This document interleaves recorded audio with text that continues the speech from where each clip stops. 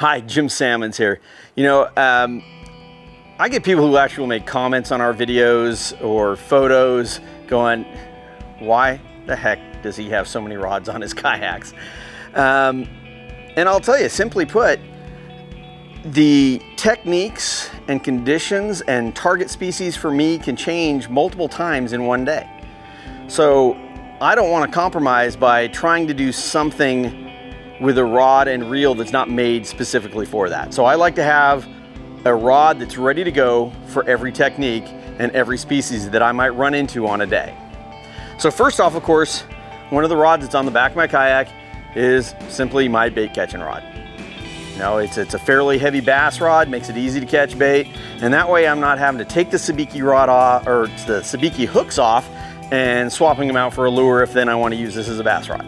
So I have a dedicated bait catching rod. So there's one of the rods it's on, you'll see on the back of my kayak. Number two, of course, if I am going to be live bait fishing, I want to have a setup for trolling.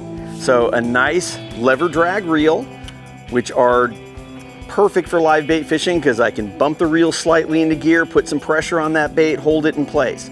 Um, this would be the same setup that I would use for trolling. I would also have a uh, lever drag setup like this for uh, vertical jigging.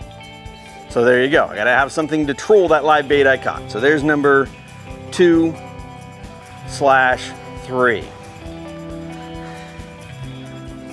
The next one I'm gonna have is a star drag long rod for throwing the surface iron. If we're seeing fish coming up on, on top, I wanna have a rod that's set up for throwing it. And the reason for a star drag versus a lever drag is you get a little bit better free spool on a star drag than you do on a lever drag. So what does that mean? Well, I'm gonna get better casting distance.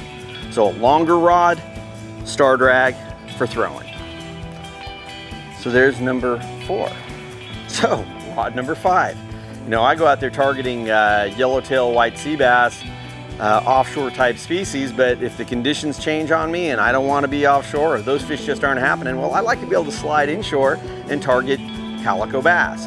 So for those, I'm usually throwing plastics and it's cast and retrieve, cast and retrieve, cast and retrieve. So having a nice low profile, level wind reel for those constant casts is the way to go. So that's number five. Now number six here is one that I don't use a lot. I'll be honest with you. I'm not a big spinning reel guy.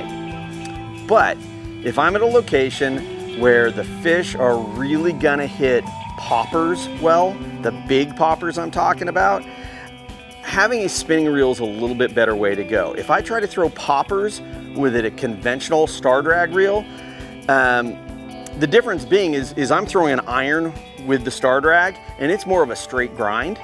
So you're always keeping constant tension on the line. With a popper, it's a rip and wind, rip and wind. So you're picking up a lot of slack line. If you do that on a conventional reel, on your next cast, you're much more likely to backlash.